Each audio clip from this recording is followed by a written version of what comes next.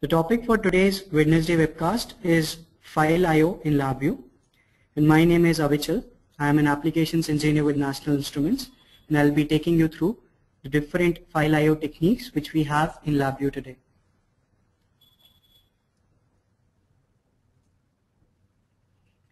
So when I talk about file I.O., it essentially means we have several techniques or several functions in LabVIEW that can be used to pass data or some information from LabVIEW development environment to our hard drive and from the hard drive to the LabVIEW environment.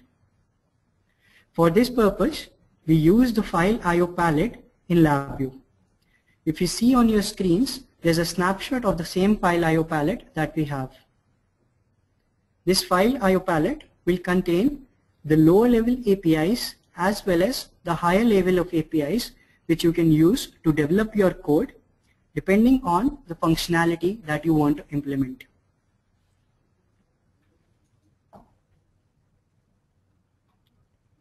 The various input-output operations that you can perform using LabVIEW on your files are opening and closing of these files, reading data from these files or writing data to these files, moving or renaming these files and their directories. You can even change the file characteristics using LabVIEW. You can do modification and reading of a configuration file using LabVIEW again. So we have, a dedicated palette in LabVIEW for creating or modifying these INI files which are available and the same can be done using the palette.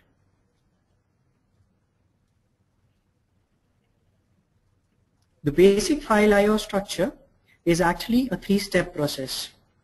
First of all, if I have to use a file, I need to create a reference to that file. Now if there is a file which is already existing, I just need to open that file and use it. I may also want some time that if there is a file which is existing, I can replace that file with a completely new file and go ahead and work with it. Similarly, I can also create a totally new file which is non-existent on the disk. For this, I'm going to use the first step which is create, open or replace a file. Once I have done, I'll be getting a reference for a file in my development environment which I can use for, for which I can use for further functions. Now once I have a reference, I'll be reading or writing some data to this file and as well as I can do continuous streaming of data. Now whatever data analysis has to be performed will be there done in the LabVIEW environment.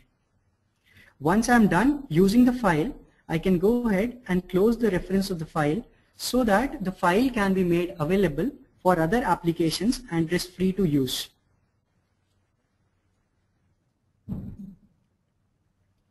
Here's an example of how you can go ahead and use these functions. So the first function that you see is an open file reference function which essentially can open or create or even replace an existing file. So you define your file path you give an option that whether you want to open a new file, you want to create or you want to replace an existing file, you give the access mode to the file. Whether you want to set a permission for just reading the file, for just writing the file, or the LabVIEW program might have the permission of doing both the read and write operations. Once I have implemented this particular function, I get the file reference which can be used for the fi write file and read from file functions. Now if you see I have displayed the write to file as well as the read from file function on the screen.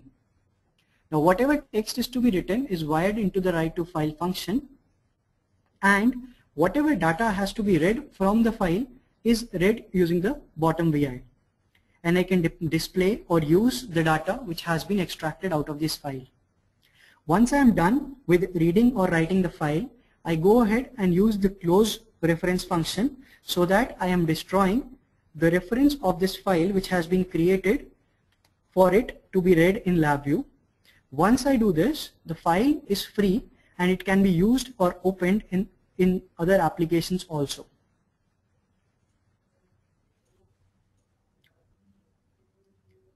To make these things more clearer, I'll go ahead and demonstrate a simple file IO function VI to you.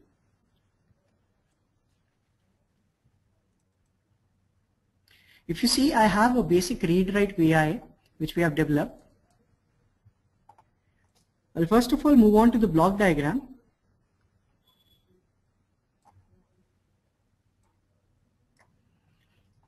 So over here you can see the same functionality as, as I told you earlier has been implemented. The first function that you see over here is actually creating a reference to a file. Now if the file was existing, it will just open that file. If the file is not there, it is going to create a new file. And I want to read as well as write data on the file and therefore I have given the access mode as read slash write. The file path will be given as a control which is actually given on the front panel. Next I'm having a case structure so that it's my decision that whether I want to write to a file or want to read from a file and same has been implemented. Then again once I'm done with the functionality I'm going to close the reference using the close reference function.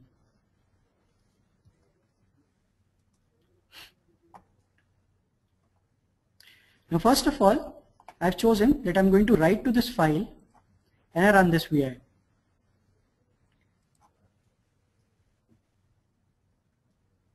Now since there's no text to be written, the file would be empty right now, but the file was not existing till now in this folder. Therefore, a new file has been created here. If I open up this file, there's no text.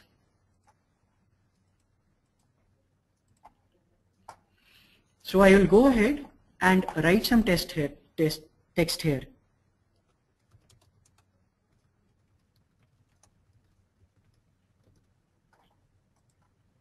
Now once I run this program, this program, because it is in write mode right now, it writes this text to the text file as it is displayed here.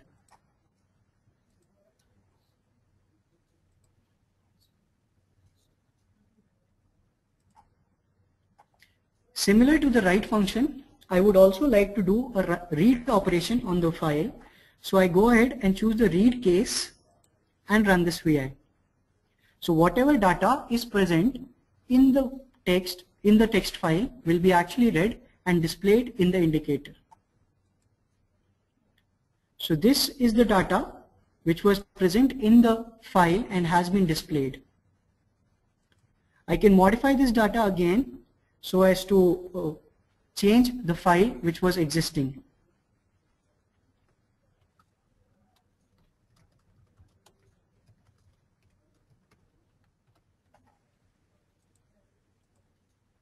If I open up the file,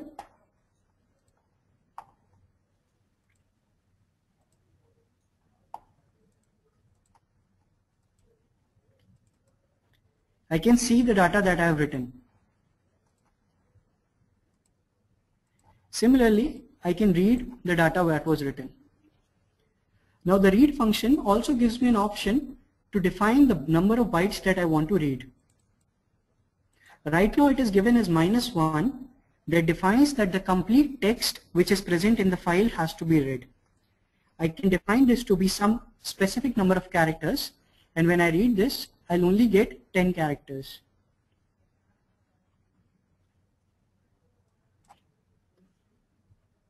And with minus 1 I get the complete text. So this is how the basic file IO operations uh, are done. But actually this is not it. There's much to it because these things can have several issues. For example, if I go ahead and delete this text and write down some new text,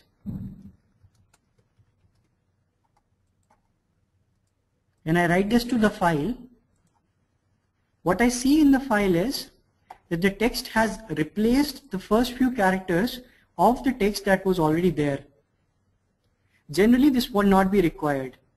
It will be required that the text should be placed at the end of the line or somewhere in middle, wherever I want it to be.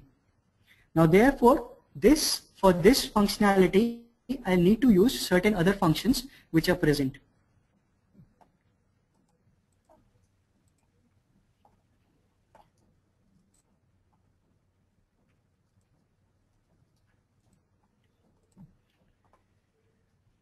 Now apart from just selecting that where do I want to perform this read or write operation, there are lots of other things that I can I may require in certain applications.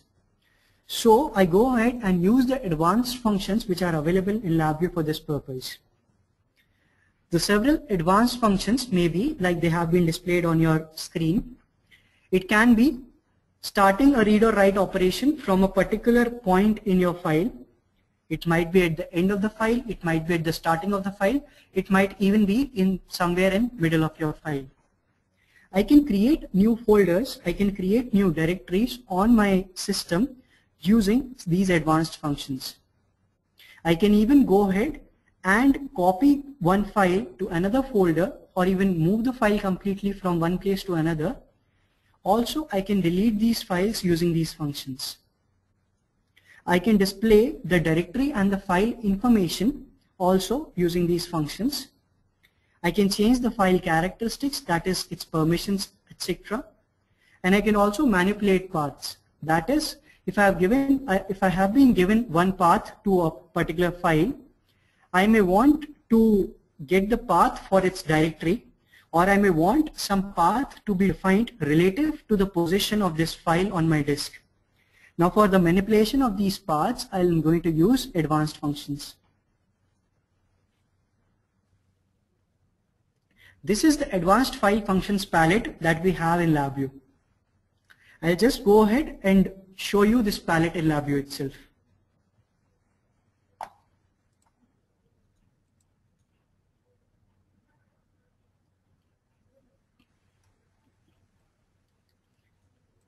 So as you already know, the, the LabVIEW VI having its two parts, the front panel and the block diagram. Right now I'm only concerned with the block diagram. I go ahead on the block diagram. I see, I right click on my block diagram to get the functions palette. On the programming palette, I get the file IO palette. So these are the lower level of VIs, which you can see. And there are several other higher level of VIs also, which can be included for higher functionalities. What I am concerned with right now is the advanced file functions palette, which you can see in the top right corner.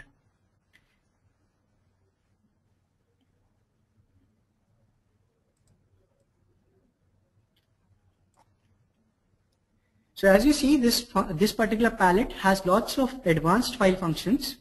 For example, if I want to get or set the file position, I have the functions for that. Similarly, I have got the functions for setting and getting the file size, file permission, file type, etc. I have functions for moving, copying, deleting or flushing the file. Also, I have several functions which work on the directory and the folders. For example, I can use the function over here to create a new folder. I can use a function over here to list the complete details of a folder, what all files are included in that folder, what all folders or subfolders are included in this folder. I can get a list of all of these. I can also get the information about the current uh, about a particular file or a particular directory. I can also get an information about the volume disk on which I'm operating that is your hard drive. Also, we have a file dialog function. This file dialog function can be used to pop up a dialog box to ask for a file path whenever it is needed. There's one more very important function to check if a particular file or a folder is already existing in a particular directory.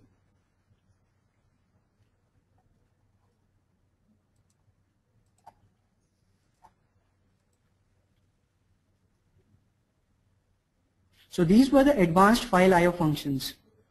So I have told you about the basic file IO functions and about the advanced file IO functions.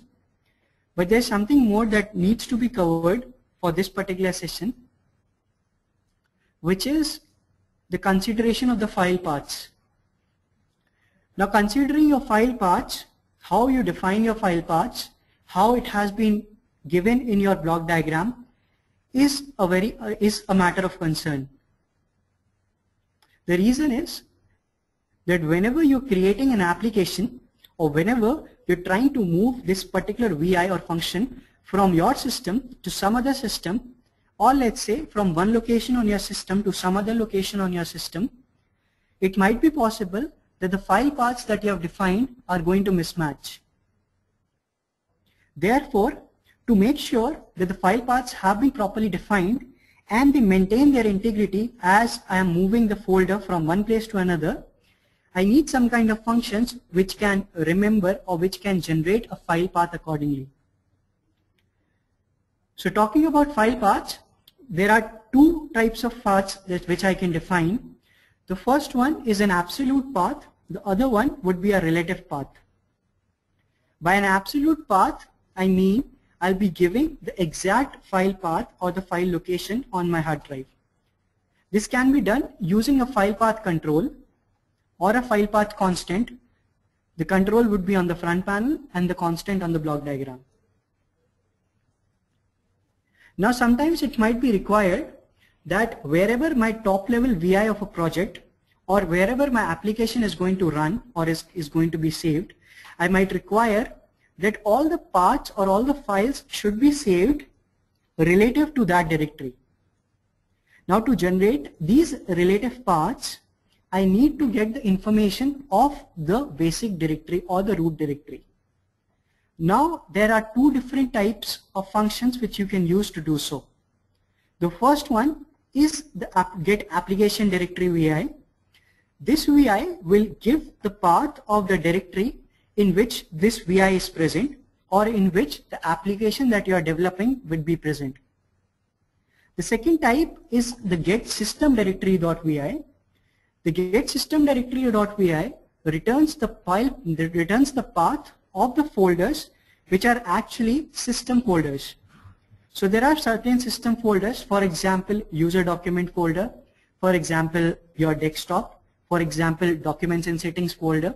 These types of folders can be accessed, the paths can be accessed in LabVIEW and you can define all of your file paths relative to these paths. Now to define relative paths to these paths, you need something to build a complete path using these directory paths.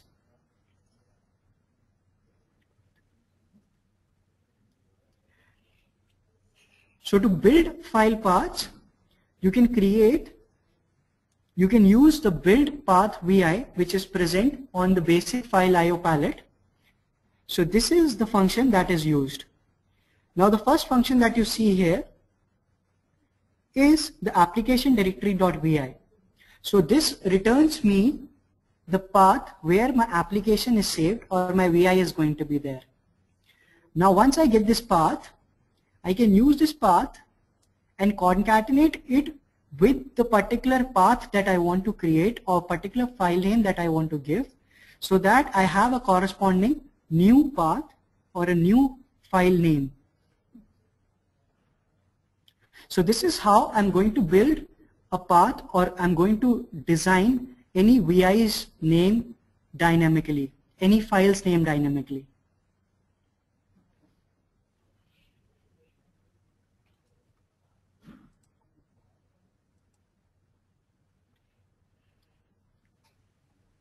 I'll just go ahead and do a small demonstration on this.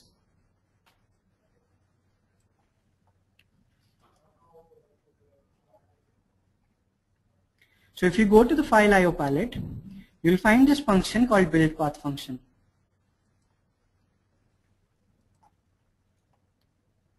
To access the path of your application directory, again I need to go to the file IO. On the file IO, I go to the file constants and there I get a function for getting the application directory.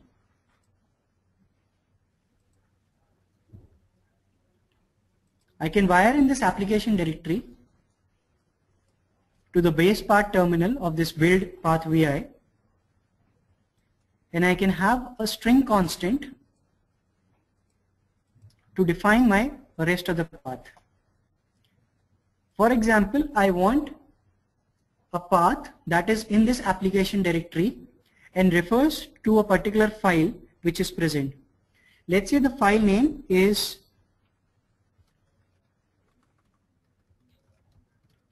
webcast.txt and I'll be displaying this path on my front panel.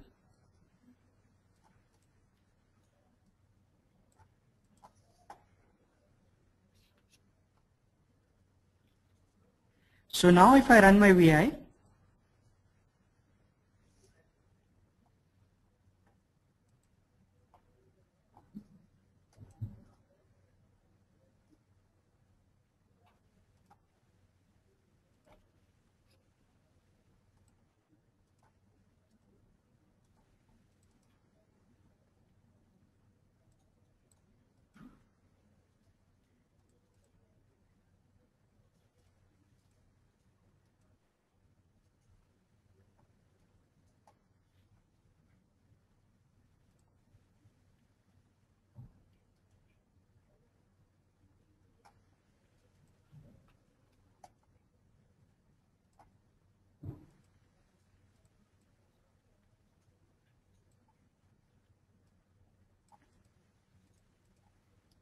Yeah, so now I have a path control to give an absolute path and I have an appended path that will actually be generated using this path and this file name.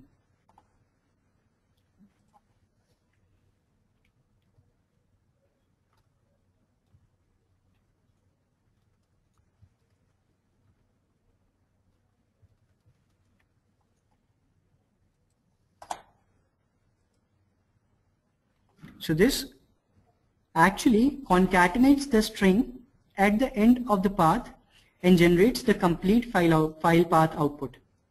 So if I am generating several files programmatically, I might may need to use the numbers to number these files accordingly.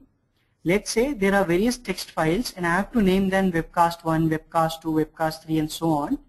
What I'll be doing is I'll be programming it in a loop to generate a string that has the same name. I'll be appending it to this file using the build path function and I'll be using it correspondingly.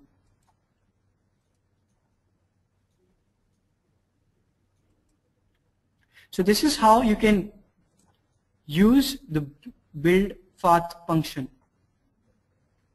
So today we have learned about the basic file IOs. We have learned about the palette that includes all the functions for advanced file I.O. And we learned basic informations about building these paths and getting certain other file references. But the scope of file I.O. in LabVIEW is actually very big. So in the coming of web webcast, we'll be actually having a lots of sessions which will be covering various other aspects of file IOs We'll be covering various other aspects of generating reports and connecting to databases.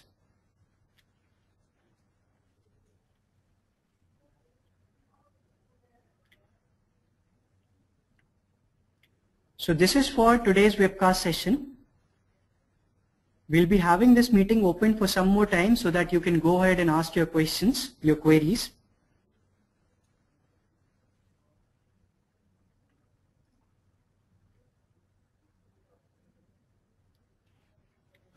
The contest of the week is also live on the LabVIEW enabled community that is www.labviewenabled.in. So you can go ahead and participate in the contest of the week.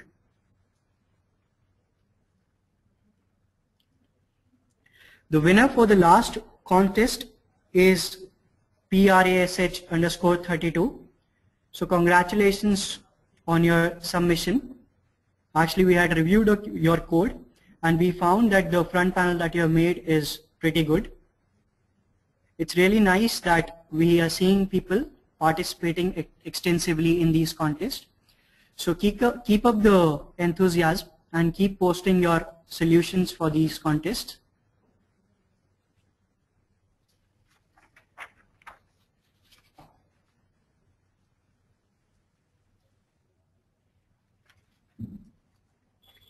Extend your webcast Wednesday learning experience on LabVIEW enabled, the NI India online community.